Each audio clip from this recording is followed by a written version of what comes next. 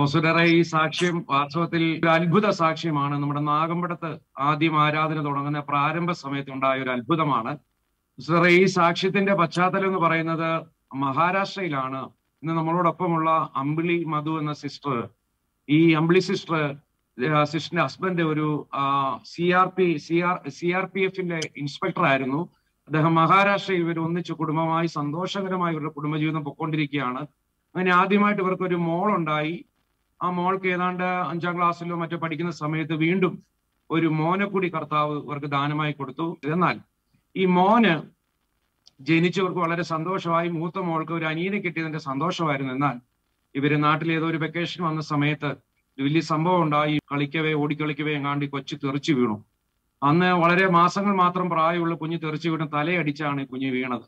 കുഞ്ഞിനെ ചുരുക്കത്തിൽ ഹോസ്പിറ്റലിൽ കാണിച്ചു. വലിയ പ്രോബ്ലം ഒന്നും അന്നേരം കാണിച്ചില്ല. എന്തെങ്കിലും പ്രോബ്ലം ഉണ്ടെങ്കിൽ പിന്നീട് കൊണ്ടുവരണം എന്നൊക്കെ പറഞ്ഞെങ്കിലും ഏകദേശം കുറച്ച് നാളുകൾക്ക് ശേഷം ഈ കുഞ്ഞ് ഫിക്സ് വന്ന് വീണു.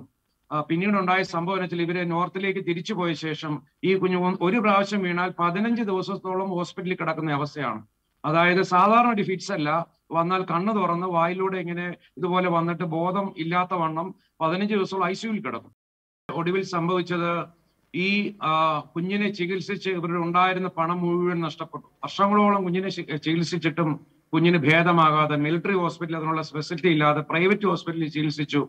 ഒരുപാട് പണം നഷ്ടപ്പെട്ടപ്പോൾ ഒരു സാമ്പത്തികമായി തകർന്നു. പലയിടത്തു നിന്നും കടം മേടിച്ചു. എന്നിട്ട് ചികിത്സിച്ചിട്ട് രക്ഷയില്ല.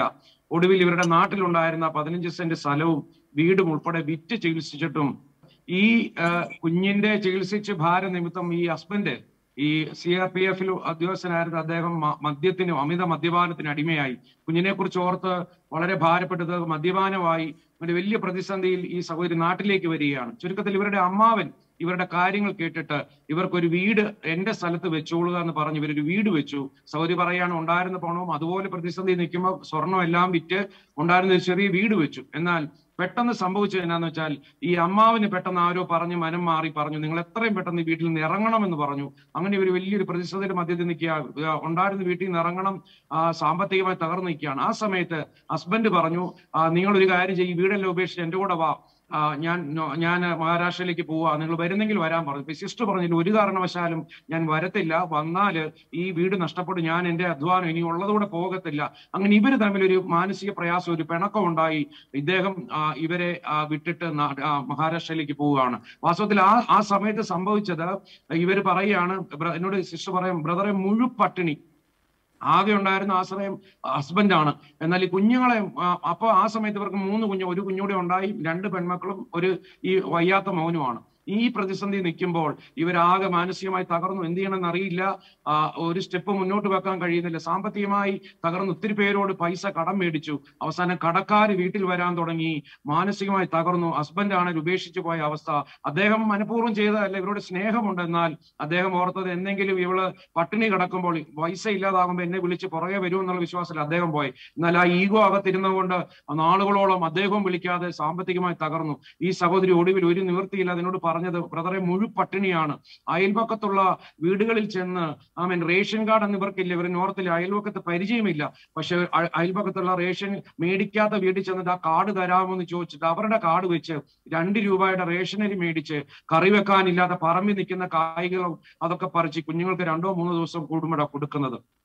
അങ്ങനെ ഇവർ തകർന്ന് ഇരിക്കുമ്പോഴാണ് ഇവരുടെ കടക്കാർ വീട്ടിൽ വന്ന് ഇവരെ ഭാരപ്പെടുത്തിയപ്പോൾ സിസ്റ്റർ പറഞ്ഞു ഇട്ടിരുന്ന ഡ്രസ്സിൽ.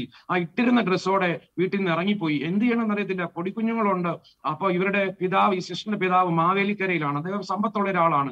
അദ്ദേഹത്തിന്റെ അടുത്ത് ഈ സിസ്റ്റർ ഇട്ടിരുന്ന ഡ്രസ്സിൽ ബസ് കയറി അവിടെ ചെന്നപ്പോൾ അപ്പനും നീ ഈ ഡ്രസ്സിൽ വന്ന് എന്നെ നാണം കെടുത്തുവാണോ എന്ന് പറഞ്ഞ് ചെറിയ വണ്ടിക്കൂലി മാത്രം കൊടുത്തിട്ട് ആ മെയിൻ വഴി പോകല്ലേ ഒരു തൊണ്ടു വഴി പറഞ്ഞു കൊടുത്തിട്ട് അതുവഴി പോകണം എന്ന് പറഞ്ഞ് സഹോദരി ബസ്സിലിരുന്ന് മാനസികമായി പൊട്ടിക്കരഞ്ഞു. അന്ന് ഹൃദയത്തിൽ ഒരു തീരുമാനം എടുത്ത് വരുവാണ്. ഇനി ജീവിക്കണ്ട. എന്റെ കുഞ്ഞുങ്ങളെയും കൊന്ന് ഞാനും മരിക്കണം എന്ന ഒരു ഉറച്ച തീരുമാനത്തോടെ സൗരി പൊട്ടിക്കരഞ്ഞുകൊണ്ട് വീട്ടിൽ വരികയാണ്. ആകെ അൻപത് രൂപ മറ്റേ ഉള്ളൂ. വണ്ടിക്കൂലി കഴിഞ്ഞ് ചെറിയ പത്ത് രൂപ വ്യത്യാസമുണ്ട്. പക്ഷെ സിസ്റ്റർ നോ പറയുകയാണ് ബ്രദറെ എനിക്ക് എങ്ങനെ ഒരു വിഷം മേടിക്കണം എന്നുണ്ട് എന്നാൽ നമ്മൾ പണ്ട് പഴമൊഴി പറയുന്ന പോലെ വിഷം മേടിക്കാൻ പോലും പൈസ ഇല്ല എന്ന് പറഞ്ഞതുപോലെ വിഷം മേടിക്കാനും പൈസയില്ല. ഒടുവിൽ കുഞ്ഞുങ്ങൾ വിഷം മേടിക്കാൻ പോലും പൈസ ഇല്ലാത്ത സ്ഥിതി സിസ്റ്റർക്ക് ഉണ്ടായി അല്ലേ? ആ ബ്രദറെ ആ സമയത്ത് ഞാൻ അച്ഛന്റെ അടുക്ക ചെല്ലുമ്പം എനിക്ക് കടക്കാർ വന്ന് എന്നോട് ചോദിച്ചു നിങ്ങൾ പൈസ തരാറായില്ല. ഞാൻ പറഞ്ഞ ഹസ്ബൻഡ് പൈസ അയച്ചില്ല. ഞാൻ മണി ഓർഡർ വന്നോ എന്നൊന്ന് പോസ്റ്റ് ഓഫീസിൽ ചെന്ന് ചോദിച്ചിട്ട് വരട്ടെ. എന്നും പറഞ്ഞ് ഞാൻ ചോദിക്കാൻ വേണ്ടി പോസ്റ്റ് ഓഫീസ് വരെ പോകാൻ വേണ്ടി ആ ഡ്രസ്സിൽ അങ്ങ് പോയെന്നേ ഉള്ളൂ. അവിടെ ചെന്ന് കഴിഞ്ഞപ്പോ ഇല്ലെന്ന് അറിഞ്ഞപ്പോ പിന്നെ എനിക്ക് പെട്ടെന്ന് ടെൻഷനായി ഞാൻ അവരോട് എന്തോ പറയും പൈസ വന്നില്ലെന്ന് അങ്ങനെ ഇനിയും പറയും എന്ന് പറഞ്ഞപ്പോ ഞാൻ പെട്ടെന്ന് ഓർത്തു എന്തായാലും അച്ഛന്റെ അച്ഛന്റെ അടുക്ക ചെന്നാൽ അച്ഛൻ ഒത്തിരി സഹായിച്ചിട്ടുണ്ട്. വീട് വെക്ക വെക്കാൻ നേരം എന്നെ സഹായിച്ചു. കുഞ്ഞിന് അഡ്മിഷന് വേണ്ടി തന്നായിരുന്നു. അങ്ങനെ ചെല്ലുമ്പോ ചിലപ്പോ പൈസ തരും. അന്ന് ഞാൻ ചെന്നപ്പം അച്ഛൻ എന്നോട് പെട്ടെന്ന് പറഞ്ഞു നീ എന്നും എന്നും ഒന്നാമത് ഞാൻ ഇങ്ങനെ ആ ഇട്ട ഡ്രസ്സിൽ ചെന്നത് തന്നെ അച്ഛന് ഇഷ്ടപ്പെട്ടില്ല. എന്ന് വെച്ചാൽ അച്ഛനത് അതൊരു വലിയ നാണക്കേട് പോലെ ഞാൻ അതൊന്നും നോക്കിയില്ല. ഞാൻ ഇവിടെ പോകുന്ന രീതിയിൽ അങ്ങ് പോയി. ഞാൻ അത് ആ ടെൻഷനൊന്നും എനിക്കറിയത്തില്ല. ഞാൻ എങ്ങനെ പോയെ? അവിടെ ചെന്ന് കഴിഞ്ഞപ്പോ അച്ഛൻ എന്നോട് പറഞ്ഞു ഇനിയും ആ, ഈ പിന്നെ എനിക്ക് വണ്ടിക്കൂലി തന്നു. വണ്ടിക്കൂലി തന്നിട്ട് പറയാം ഈ വഴിയെ കൂടെ നേരെയുള്ള വഴിയെ കൂടെ പോകരുത് എന്നെ അറിയാവുന്നവരൊക്കെ ഉണ്ട്. നീ പിന്നെ ഇടുക്ക് റോഡിൽ കൂടെ അങ്ങോട്ട് പോയാൽ മതി. എന്ന് പറഞ്ഞ് എന്നോട് പറഞ്ഞപ്പം ബ്രദറെ എനിക്ക് ഭയങ്കര സങ്കടം. എന്ന് വെച്ചാൽ ഒരു ആശ്രയം എനിക്ക് അച്ഛനെ ഉണ്ടായിരുന്നുള്ളൂ. അപ്പൊ അച്ഛനും കൂടെ അത് തരത്തില്ലെന്ന് പറഞ്ഞപ്പോ എനിക്ക് ഭയങ്കര സങ്കടം. ഞാൻ അവിടുന്ന് ഇറങ്ങി ഇറങ്ങി നടക്കുമ്പം വലുതായിട്ട് കരഞ്ഞു. അന്ന് സിസ്റ്റർ പറഞ്ഞത് തോമസിറ്റുകാരെ ബസ് ഇറങ്ങി കുഞ്ഞുങ്ങൾ പട്ടിണിയാണല്ലോ എന്ന് വെച്ച് ഒരു ചായക്കടയിൽ ചെന്ന് ചെറിയ ഈ ബോണ്ട പോലെ മൂന്ന് ചെറിയ ഇത് മേടിച്ച് പക്ഷെ വിഷം കലക്കി കൊടുക്കണമെന്നുണ്ട്. പക്ഷെ വിഷം മേടിക്കാൻ പൈസ ഇല്ല ഈ സഹോദരി കുഞ്ഞുങ്ങളെ മൂന്നുപേരെ അടുക്കൽ വിളിച്ചു. ഇളയ കുഞ്ഞുങ്ങൾക്ക് രണ്ടുപേർക്കും വിവേകമില്ല അവർക്ക് അറിവായില്ല. എന്നാൽ മൂത്ത കുഞ്ഞിനോട് ആറാം ക്ലാസ്സിൽ ഏഴാം ക്ലാസ്സിൽ പഠിക്കുന്ന മൂത്ത കുഞ്ഞിനോട് ഈ മോളെ അടുത്ത് വിളിച്ചിട്ട് ഈ അമ്മ ഇങ്ങനെ പറഞ്ഞു മോളെ നിനക്ക് അത്യാവശ്യം നിനക്ക് ബോധവും കാര്യവിവരവും ഉണ്ട്. എന്നാൽ മറ്റേ കുഞ്ഞുങ്ങൾക്ക് അത്രയും കാര്യം അവർക്ക് അറിവില്ല. പക്ഷെ അമ്മ നിന്നോട് പറയാതെ ചെയ്താൽ അത് എന്റെ മനസാക്ഷിക്ക് ഒരു വലിയ പ്രോബ്ലം അതുകൊണ്ട് ഞാൻ കുഞ്ഞിനോട് തുറന്നു പറയുക അമ്മ നാളെ നിനക്കൊരു ഐസ്ക്രീം മേടിച്ചു തരും. മോളെ ഒന്നും തോന്നില്ല. നീ അത് മേടിച്ച് അമ്മയുടെ കയ്യിൽ നിന്ന് മേടിച്ച് സന്തോഷത്തോടെ കഴിച്ചോണം. കാരണം നിന്നോട് ഞാൻ തുറന്നു പറയാം അമ്മ അതിനകത്ത് വിഷം കലക്കിയാ തരുന്നത്. കുഞ്ഞെ നമുക്ക് അപ്പനും ഇല്ല നമുക്ക് ആരുമില്ല കടം കൊണ്ട് അമ്മയ്ക്ക് നിങ്ങളെ നിവൃത്തി നിങ്ങൾക്ക് പട്ടിണി കിടക്കുക എനിക്ക് നിങ്ങളെ കരുതാൻ പറ്റുന്നില്ല. എല്ലാവരും ഒരു പ്രതീക്ഷയില്ല. അതുകൊണ്ട് അമ്മ തരുന്ന ഇത് മോൾ സന്തോഷത്തോടെ വാങ്ങി കഴിച്ച് നമുക്ക് മരിക്കണം കുഞ്ഞെന്ന് പറഞ്ഞു മോളോടൊക്കെ പറഞ്ഞ മോൾ എന്ത് പറഞ്ഞു? മോൾ അന്നേരം മോക്ക് ഒത്തിരി ഒന്നും അറിവില്ല. എങ്കിലും വിഷം കുടിക്ക് കലക്കി കൊടു തരുമെന്ന് പറഞ്ഞപ്പോ അവൾക്ക് മനസ്സിലായി. അന്നേരം അവൾ പെട്ടെന്ന് പെട്ടെന്ന് ആ കുഞ്ഞുങ്ങളെ ഇങ്ങനെ രണ്ടുപേരെ ഇങ്ങനെ നോക്കി നോക്കിയിട്ട് പെട്ടെന്ന് അവൾക്ക് സങ്കടം വന്ന് സങ്കടം വന്നിട്ട് പറഞ്ഞു പെട്ടെന്ന് അവിടെ കണ്ണെല്ലാം അങ്ങ് നിറഞ്ഞിട്ട് വിതുമ്പ ഞാൻ ബന്ധിക്കോട് പറഞ്ഞു മമ്മ ഞങ്ങളെ കൊല്ലല്ലേ മമ്മ ഞങ്ങൾ ഞങ്ങൾ എന്ത് മേടിച്ചു മമ്മ? ഞങ്ങൾക്ക് ജീവിക്കണം. അമ്മ ഞങ്ങളെ കൊല്ലരുതെന്ന് പറഞ്ഞു ഇവിടെ വാവിട്ടങ്ങ് കരഞ്ഞു കരഞ്ഞപ്പോ എനിക്ക് ഭയങ്കര സങ്കടം തോന്നി. നവീമൃത തുടർന്ന് ഈ കുഞ്ഞിനൊരു ഭയം തട്ടിട്ട് ഭക്ഷണം കഴിക്കാതിരിക്കും അങ്ങനെയാണ് പറഞ്ഞത്. ഈ കുഞ്ഞു വെച്ച് ആറാം ക്ലാസ്സിൽ പഠിക്കുന്ന കുഞ്ഞ് പിന്നീട് സംഭവിച്ചത് എന്നാന്ന് വെച്ചാൽ തോമസ് കുട്ടിയാറെ ഓരോ ഭക്ഷണം തരുമ്പോഴും അത് ആ ഭക്ഷണത്തിൽ നോക്കും അമ്മയുടെ മുഖത്ത് നിസ്സഹായ ഭാവത്തോടെ നോക്കും. കാരണം അതിന് ഭയമാ. അതിന്റെ അകത്ത് ഈ കുഞ്ഞ് അമ്മ അമ്മ പറഞ്ഞ അമ്മ പറഞ്ഞല്ലോ ഞാനത് ചെയ്തു തരും ഇത് വെക്കും വിഷം വെക്കും. അപ്പൊ കുഞ്ഞ് ഭയപ്പെടുകയാണ്. അമ്മയോട് എന്നിട്ട് കെഞ്ചി ചോദിക്കുകയാണ് അമ്മ എന്തെങ്കിലും കുഴപ്പമുണ്ടോ? ഞാൻ കഴിച്ചോട്ടെ.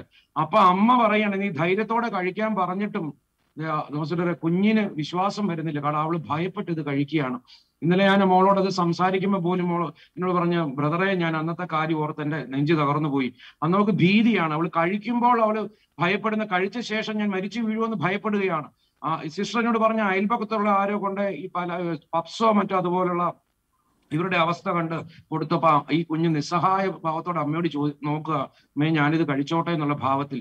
അമ്മ കഴിച്ചോളാൻ പറഞ്ഞിട്ട് കുഞ്ഞിന് വിശ്വാസമില്ല. അപ്പൊ എന്റെ എന്നെ തലയെ തൊട്ട് സത്യം ചെയ്യുന്നുള്ള പറഞ്ഞ പോലെ അതുപോലെ കുഞ്ഞ് അമ്മയോട് റിക്വസ്റ്റ് ചെയ്യും. അങ്ങനെ ഓരോ ദിവസവും ആമേൻ. ഭയത്തോടെ ആ കുഞ്ഞ് ആ കുഞ്ഞിന് കഴിക്കാൻ ഭയമാണ്. കഴിച്ചാൽ മരിച്ചു വീഴുമോ എന്നുള്ള മരണഭീതിയിൽ ആ കുഞ്ഞ് ആമേൻ കഴിഞ്ഞുപോയി. ചുരുക്കം പറഞ്ഞാൽ തോസുട്ടർ ആ സമയത്ത് ഇവരുടെ വീടിന്റെ തൊട്ടരികിൽ കുറച്ച് ദൂരത്ത് ഒരു ചെറിയ അമ്മച്ചിയുടെ ഒരു ചെറിയ വീടുണ്ട് ചെറിയ കുടിലാണ്. ആ കുടിലിൽ ഈ മോന് ഇവൻ പറ ഇവന് ഈ ഫിക്സിന്റെ പ്രയാസം മാത്രമല്ല ഇവൻ ഇട്ടിരിക്കുന്ന സമയത്ത് ഇവന് സോറി ഇവന്റെ യൂറിനൊക്കെ കൺട്രോൾ ഇല്ലാതെ പോകും. അങ്ങനെ കുഞ്ഞ് കുറച്ച് ഇവൻ ഓടിക്കളിക്കുന്ന കൂട്ടത്തില്ല അപ്പൊ ഇവൻ ഇവൻ പെട്ടെന്ന് ഈ അടുത്ത വീട്ടിലോട്ട് ഓടി അങ്ങ് പോയി. ഓടി കയറിയപ്പം ആരോ അവിടെ ഒന്ന് വിളിച്ചു പറഞ്ഞു ആണ്ടെ കുഞ്ഞ് ആ വീട്ടിലോട്ട് കയറി അവിടെ ഒരു പ്രാർത്ഥന നടക്കുക. പ്രാർത്ഥനയ്ക്കിടയിലോട്ടാണ് കുഞ്ഞു പോകുന്നത്. അപ്പൊ ഈ സിസ്റ്ററും പുറകെ ഓടി ഓടിച്ചെന്ന കുഞ്ഞ് നീ എന്നോടാ കാണിക്കുമ്പോൾ ഈ പ്രാർത്ഥനയ്ക്കിടയിൽ അന്ന് നമ്മുടെ ഒരു സഹോദരി ചങ്ങനാശ്ശേരിയിലെ നമ്മുടെ ഷീല എന്ന് പറഞ്ഞൊരു സഹോദരി അവൻ ഒരു ചെറിയ കുടിയിൽ ഒരു അമ്മച്ചിയുമായി മൂന്ന് പേർ മാത്രം കൂടി ഒരു കെയർ സെല്ല്. പക്ഷെ ആ കെയർ സെല്ലിൽ നടന്ന അത്ഭുതം. ആമേനെ കുഞ്ഞു കൂട്ടായ്മയിലേക്ക് ഈ കുഞ്ഞെന്ന് ഓടി കയറിയത്. വാസ്തവത്തിൽ ആമേൻ അവൻ അല്ല ഓടിക്കേറിയത് അവൻ ആമേൻ ആ കുടുംബത്തിന്റെ മുഴുവൻ നരകത്തിൽ നിന്നും സ്വർഗത്തിലേക്ക് ആ കുഞ്ഞ് ഓടിക്കയറുമായിരുന്നു ഈ കുഞ്ഞ് ഓടിച്ചെന്ന് അകത്ത് കയറുമ്പോൾ സഹോദരി വലിച്ചുകൊണ്ട് വഴക്ക് പറഞ്ഞ് ഇറക്കിക്കൊണ്ട് വരികയാണ്. പെട്ടെന്ന് ഈ ഇരുന്ന ആ- ഷീല സിസ്റ്റർ പറഞ്ഞു അയ്യോ അമ്മച്ചിയോട് പറഞ്ഞു അമ്മച്ചി എന്താ കുഞ്ഞിനെ ഇങ്ങനെ കൊണ്ടു അപ്പൊ അമ്മച്ചി പറഞ്ഞു ആ കുഞ്ഞിന് വയ്യാത്ത കുഞ്ഞാ ആ കുഞ്ഞിനിങ്ങനെ പ്രോബ്ലം ഉണ്ടെന്ന് പറഞ്ഞപ്പോ ഷീല സിസ്റ്റർ ഓടിച്ചെന്ന് അമ്മച്ചി ആ കുഞ്ഞിനെ വിളിച്ചോണ്ട് പോവാ നമുക്ക് പ്രാർത്ഥിക്കാമെന്ന് പറഞ്ഞു. അങ്ങനെ ഈ അമ്മ ഓടിച്ചെന്നപ്പോൾ ഈ സഹോദരി സന്തോഷത്തോടെ ഏതായാലും കുളിപ്പിച്ച് പെട്ടെന്ന് ഡ്രസ്സ് ഒക്കെ ചെയ്ത് ആ മൂത്രം ഒഴിച്ച നിക്കറൊക്കെ മാറി മോനെ പറഞ്ഞു വിട്ടു. അങ്ങനെ ഈ ഷീല സഹോദരി അമ്മച്ചിയുടെ കുഞ്ഞിന്റെ തലയെ കൈവച്ച് പ്രാർത്ഥിക്കുമ്പോൾ ഈ സഹോദരി വന്നത് കാണുമ്പോൾ വലിയൊരു സമാധാനം സഹോദരിക്ക് ഉണ്ടായി. സഹോദരി പറഞ്ഞത് എന്നോട് ഇങ്ങനെയാണ് ബ്രദറെ ഈ സഹോദരി അവിടെ നിന്ന് ഒരു മണിക്കൂറോളം കഴിഞ്ഞാ വീട്ടിൽ നിന്ന് ഇറങ്ങുന്നത്. പക്ഷേ ഞാൻ ഒരു മണിക്കൂർ ആമേ ഞാൻ എന്റെ വീടിന്റെ മതിലിന്റെ സൈഡിൽ മറഞ്ഞ് അവിടെ പാത്തിരുന്നു. അതെന്നാ ആരും കാണരുത്. എനിക്ക് എങ്ങനെയും ഒന്ന് പറയണം. അന്ന് മരിക്കാനിരിക്കുക അന്ന് ഉറപ്പിച്ചിരിക്കുക ഇനി വിഷം അല്ലെങ്കിൽ ഏതെങ്കിലും മുഖേന അന്ന് കുഞ്ഞുങ്ങളുമായി മരിക്കണം എന്ന് തീരുമാനിച്ച് തകർന്നിരിക്കുമ്പോൾ മരിക്കാനിരുന്ന ദിവസം പിന്നെ മരിക്കാനിരുന്ന ദിവസമാണ് ഈ കുഞ്ഞു ദിവസമാണ് ഈ കെയർ സെല്ലിനകത്തോട്ട് ഈ കുഞ്ഞ് ഓടിക്കയറുന്നത് അങ്ങനെ ഈ സഹോദരി ഇറങ്ങിയ സമയത്ത് കാത്തിരുന്ന് ഈ സഹോദരി വിളിച്ചിട്ട് പറഞ്ഞു സിസ്റ്ററെ ഒന്ന് എടുത്തു വരാമെന്ന് പറഞ്ഞു. എന്നിട്ട് പറഞ്ഞു എനിക്ക് വേണ്ടി ഒന്ന് പ്രാർത്ഥിക്കാവോ? സിസ്റ്ററെ ഞാൻ ആകെ തകർന്നിരിക്കുക എനിക്ക് ആരുമില്ല. എനിക്കൊരു ആശ്വാസവാക്ക് പോലും പറയാൻ ആരുമില്ല. സിസ്റ്റർ എനിക്ക് വേണ്ടി ഒന്ന് പ്രാർത്ഥിക്കാവോ? മരണമല്ലാതെ മുന്നിൽ വഴിയില്ല. എനിക്ക് വേണ്ടി നിങ്ങളൊന്ന് പ്രാർത്ഥിക്കുമോ എന്ന് ചോദിച്ചപ്പം യേശുവിനെ ആമേന സഹോദരി പരിചയപ്പെടുത്തി യേശുദേവനെ കുറിച്ച് പറഞ്ഞു കൊടുത്തിട്ട് ഈ സൗരയുടെ തലയിൽ കൈവച്ച് ഷീലാ സിസ്റ്റർ എന്ന് പ്രാർത്ഥിക്കുമ്പോൾ സഹോദരി പറയുക ഇതുവരെ അനുഭവിക്കാത്തൊരു സമാധാനം. ആ സഹോദരി പ്രാർത്ഥിക്കുമ്പോൾ മരണത്തിന്റെ ദൂതനെ ശാസിച്ച് ആമേൻ ആമേൻ. അതിന് അഴിയട്ടെ എന്ന് പറഞ്ഞ് പ്രാർത്ഥിക്കുമ്പോൾ സഹോദരി പറയാ ശരീരത്തിൽ നിന്ന് വലിയൊരു ഭാരം മാറി എനിക്കൊരു വലിയ സമാധാനം അനുഭവിച്ചു. ആ സമയത്ത് ഈ സഹോദരി ശീലാശിഷ്ണോട് പറയാ സിസ്റ്ററെ എന്നെ നിങ്ങളുടെ കൂട്ടത്തിൽ എവിടെയെങ്കിലും ഒന്ന് കൊണ്ടുപോകും അല്ലെങ്കിൽ ഞാൻ മരിച്ചു പോകും എനിക്ക് സഹിക്കാൻ പറ്റുന്നില്ല എന്ന് പറഞ്ഞപ്പോൾ അതിന്റെ പിറ്റേന്ന് പിറ്റേന്ന് ഞായറാഴ്ചയാണ്. ഒരു കുഴപ്പമില്ല സിസ്റ്ററെ ഞാൻ വന്ന് വിളിക്കാം. ഞാൻ കൊണ്ടുപോകാന്ന് പറഞ്ഞു അന്ന് ചങ്ങനാശ്ശേരിയിൽ നിന്ന് സഭ തുടങ്ങിയിട്ടില്ല. ആമേൻ. അവർക്ക് ഈ സഹോദരിയെ വിളിച്ച് അടുത്ത ഞായറാഴ്ച പോരുമ്പോൾ പത്ത് രൂപയാണ് തോമസ് ലിയറെ അന്ന് വണ്ടിക്കൂലി. പത്ത് രൂപ ഈ സഹോദരിയുടെ ഇല്ല. അങ്ങനെ പൈസ ഇല്ലാതെ ആ പാവപ്പെട്ട അമ്മച്ചി ആ അപ്പറ വീട്ടിലെ ആ ആ അമ്മച്ചി പത്ത് രൂപ എടുത്തു കൊടുത്തിട്ട് കുഞ്ഞെ നീ ഇതും കൊണ്ട് പോ. ആമേൻ. ദൈവം നിന്നെ വിടുവിക്കുമെന്ന് പറഞ്ഞു അങ്ങനെ ആ പൈസായി മേടിച്ച് സഹോദരി പൊടിക്കുഞ്ഞിനെ ആയി ബസ്സിൽ കയറി. ആമേൻ. നമ്മുടെ നാഗമ്പടം ടെന്റിൽ ആമേൻ. രണ്ടായിരം ആ കാലത്ത് ആദ്യ പ്രാരംഭ സമയത്ത് വരുമ്പോൾ സശ്രു പറയാണ് ഓടി. ആമേൻ. ഈ ശീല സഹോദരി എപ്പോഴും ഫ്രണ്ടിലാണ് വന്നിരിക്കുന്നത് ഈ സഹോദരി കയ്യെ പിടിച്ച് വലിച്ചോണ്ട് ഏറ്റവും ഫ്രണ്ടിൽ കൊണ്ട് ഇരുന്ന് ആ സഹോദരി പറയാം ഞാൻ കയറി വന്നതും എനിക്കറിയാം. എന്റെ കണ്ണിൽ നിന്നും പൈപ്പിൽ നിന്നും വെള്ളം ചാടുന്നു പോലെ കരഞ്ഞുകൊണ്ടിരിക്കുക എനിക്ക് എന്ത് പറയണമെന്ന് അറിയത്തില്ല. ഞാൻ ഇങ്ങനെ കരയുമ്പോൾ കർത്താവിന്റെ ദാസൻ തങ്കു ബ്രദർ കയറി ആമൻ ഇങ്ങനെ പറയുകയാണ്. സോരി പറഞ്ഞു അന്നത്തെ മീറ്റിംഗ് മുഴുവനും ദേവദാസൻ എന്നോട് സംസാരിക്കുകയാണ്. എന്റെ ഹൃദയത്തോട് സംസാരിക്കുകയാണ്. അന്ന് തങ്കു ബ്രദർ പറയാണ് മകളെ നീ മരിക്കത്തില്ല. നീ മരിക്കാനല്ല ദൈവം നിന്നെ വിളിച്ചത്. നീ യേശുവിന് വേണ്ടി നിന്റെ ജീവിതം കൊടുത്താൽ നിന്റെ തലമുറയെ നിന്റെ കുഞ്ഞുങ്ങളെ ദൈവം വിടുവിക്കും. സൗരി പറയാം അന്ന് മുഴുവൻ വചനമൊന്നുമില്ല ഇങ്ങനെ പറയുന്ന കാര്യങ്ങൾ തന്നോട് തന്നെ. സൗരി ഇങ്ങനെ പറഞ്ഞു എനിക്ക് വേണ്ടി മാത്രം ബ്രദറെ ആ സൺഡേ മീറ്റിംഗ് വെച്ചെന്ന് എനിക്കറിയാം. ഒടുവിൽ ആ പ്രാർത്ഥനയ്ക്ക് ശേഷം തങ്കു ബ്രദർ സിസ്റ്ററിന് വേണ്ടി പ്രാർത്ഥിച്ചു മുന്നിൽ കൊണ്ടുവന്ന് പ്രാർത്ഥിച്ചു. പ്രാർത്ഥിച്ച ശേഷം ഈ സഹോദരി മടങ്ങി വന്നിട്ട് കുഞ്ഞോട് പറയാ മക്കളെ എനിക്ക് പ്രാർത്ഥനയൊന്നും അറിയത്തില്ല. പക്ഷെ ഞാനൊരു കാര്യം പറയാം. ദേ ഇങ്ങനെ പറഞ്ഞാൽ മതി. യേശു യേശു യേശു എന്ന് വിളിക്കാൻ പറഞ്ഞു. ഈ മൂന്ന് കുഞ്ഞുങ്ങളും ഒന്നും അറിയാതെ കൈകൂപ്പി യേശു യേശു യേശു യേശു എന്ന് ഈ സൗരി പറയാ എന്റെ പ്രാർത്ഥന ബ്രദറെ അതൊരു പ്രത്യേകം ഞാൻ ചോദിച്ചു സഹോദരി എന്നാ പ്രാർത്ഥിച്ച്? സഹോദരി പറഞ്ഞു ഒറ്റ കാര്യമുള്ളൂ. അവിടെ നിന്ന് ഇറങ്ങാൻ നേരത്തെ സഹോദരി ഇങ്ങനെ പറഞ്ഞു ഒന്നൊന്നര വർഷത്തോളം ഞാൻ ഉറങ്ങിയിട്ട് ഒരു രാത്രി പോലും എനിക്ക് ഉറക്കമില്ല.